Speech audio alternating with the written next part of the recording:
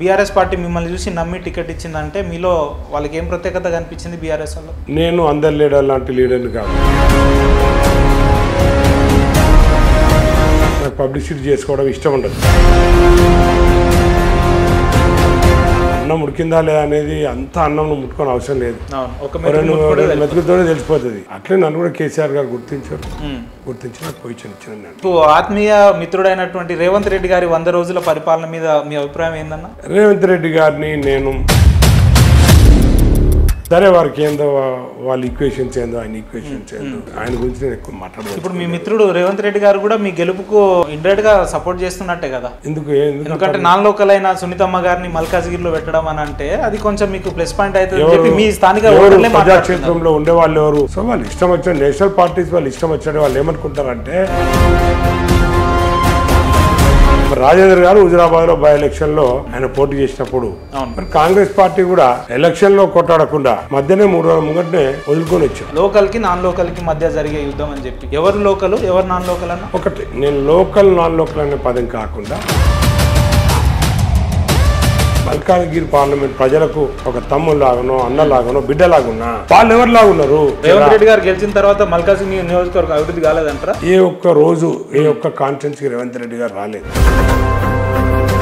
రేవంత్ రెడ్డి గారు ఎంపీ ఉన్నారే ఆయన మిస్సింగ్ అని చెప్పి ఎన్నోసార్లు సరే మీరు పొద్దున్న లేస్తే ప్రజాక్షేత్రంలో తిరుగుతురు కన్నా మీరు మల్కాజ్గిరి నియోజకవర్గంలో మీరు గమనిస్తున్న సమస్యలు ఏంది ఒకవేళ మీరు రేపు ఎంపీగా గెలిస్తే వాటిని ఏ రకంగా పరిష్కరిస్తారు? మల్కాజ్గిరిలో సికింద్రాబాద్ కంటోన్మెంట్ అనే ఏరియా ఆ హైవే కానీ ఏదైతే కరీంనగర్ పోయే రూట్ ఏదైతే ఉందో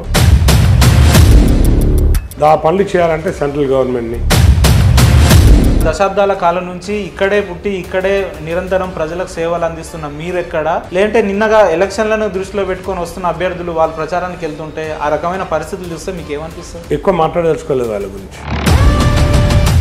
అన్ని అనుభవించారు వాళ్ళు. మంత్రి అనుభవించారు ఎమ్మెల్యేలు అనుభవించారు. చైర్పర్సన్ అనుభవించారు వాళ్ళ ఫ్యామిలీ అన్ని ఇచ్చారు వాళ్ళు ఇటల రాజేందర్ గారి నికార్సైన ఉద్యమకారుడు అని చెప్పుకోనబడే ఇటల రాజేందర్ గారిని ఓడగొడతాము అనే కాన్- కాన్ఫిడెన్స్ అయితే మీలో ఉందా ఇప్పటికి? ఉద్యమం చేసిన వాడైతే భార్య ముంగట భర్తను కొడుతున్నాడంట కొట్టిపిస్తున్నాడంట నానా బీభత్సం చేస్తున్నాడంట.